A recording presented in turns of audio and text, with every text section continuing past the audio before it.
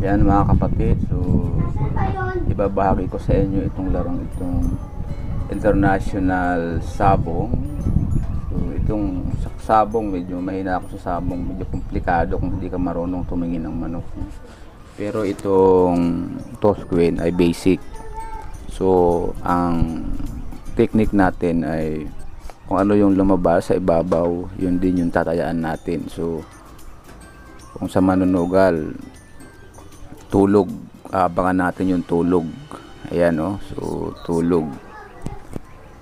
Ah, dikit na la patama. So nang natin. So nag-start tayo sa 1.8 so 2,000 yan. Kasi kanina ay strategy ko bugso bugso so ngayon mag mag consistent tayo sa piso sandaan. Ang taya natin. So ngayon ah, panalo tayo. Win lose win So, ayan. So, i-refresh natin. Yun lang, di mo na kailangang pag-isipan. So, kung ikaw ay mahilig sa sugal, medyo lamang ka dito pag ma, ano yung analytics. Kinabot tayo ng close kasi nag-refresh tayo. Pero possible tingnan natin kung lalabas ang blue. O, ayan ang guys ka. Asul. Oh.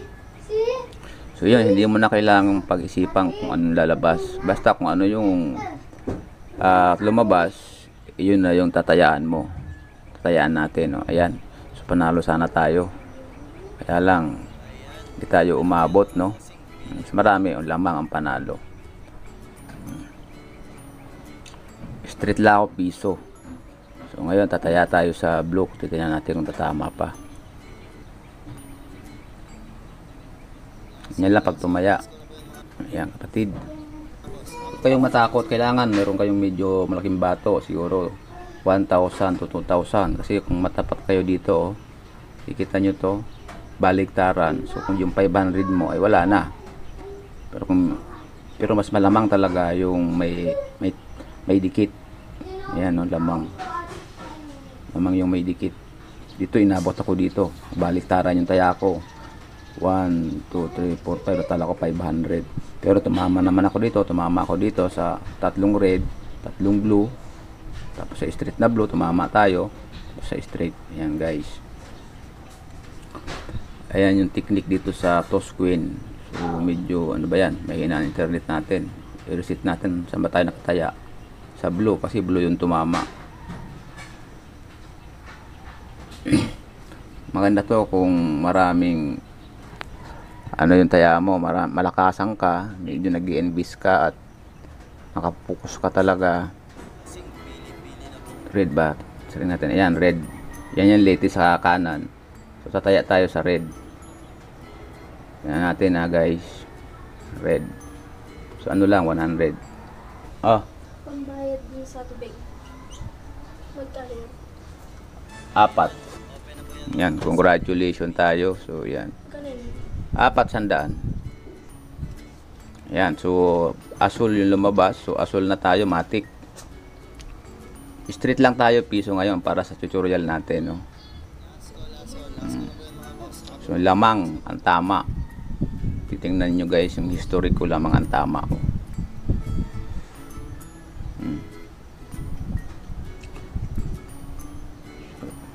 yan nakabawi ako ngayon. Pero to guys Note kung hindi ka ikaw ay ayaw mo sumugal, so hindi ka mananalo, hindi ka matatalo. So ito ay sugal. Panalo tayo oh. So asul. Tumahit ng tatlo ang asul. Kung malakas akong tumaya, kung 500, 500, 1.5 na yan, 1.4, 1.13. Ayan yung magus kagandahan dyan, no? mm So, ibig sabihin may talo din. Pero lamang ka lamang. Ayan, no? congratulations. So, ang strategy, ngayon ko lang na pag-aralan, So lamang talaga yung dikit-dikit. So ngayon kung malakas kang tumaya, bawa na maramdaman mo didikit siya, bombahin mo ngayon ang taya. Lakihan mo. Kung malaki yung puhunan mo. Yan ang nakikita ko dito. Yan guys, live videos yan. Hindi mo na natin na ano yun na para ipakita. Sa bandang kanang guys, yung latest na patama. Dito naman sa kaliwa, ay yung mga previous. So makikita nyo dyan. Ayan. Yon. So, let's proceed for another 5 minutes for tutorial kasi ito ay pera. So, kung pinaghirapan natin, hindi tayo pansugal, no? So, kailangan natin may budget tayong pansugal. Para lang sa mga aking viewers, so you earn name. Kailangan natin maghanap ng sideline.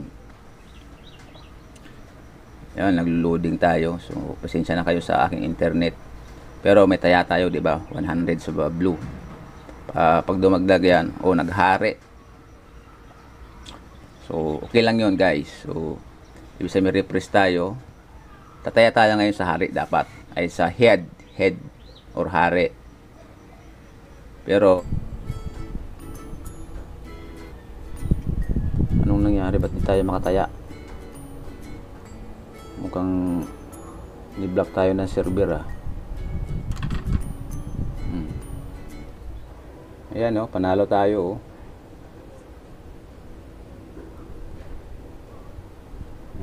Ito sa kanan, hari oh.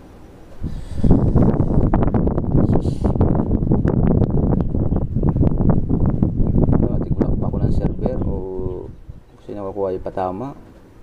Kanina nga, di naman ganun na. Why?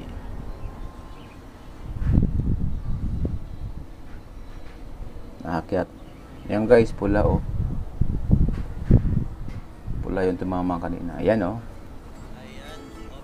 Huwag ka mag-connect, mga bagal. Ayan guys, 'di ba? Na-confirm natin na talagang lamang yung dikit. So, tayo umabot, nagluloko yung internet natin. Maraming salamat po.